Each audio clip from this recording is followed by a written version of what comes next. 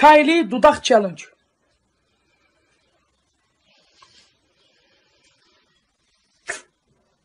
Bu ne lan?